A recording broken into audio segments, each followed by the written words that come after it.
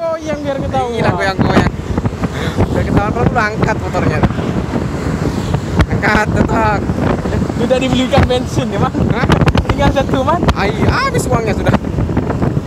Tuh, lima ribu barusan tuh. Payah dikirim itu tadi. Hah?